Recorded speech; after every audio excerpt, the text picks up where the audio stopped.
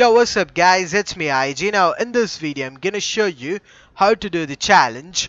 Uh, well the challenge is you need to use an ascender and deal damage to opponents within 30 seconds. Now first of all land over here. Now as you can see there's the ascender.